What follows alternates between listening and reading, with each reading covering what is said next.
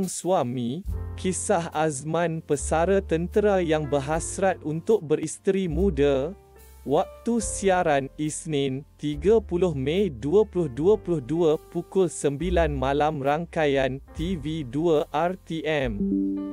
Pelakon Hairi Othman, Zarina Zainuddin, Sara Daud, Marisa Yasmin, Syajiri, Azahra Ahmad, Eda Rahman.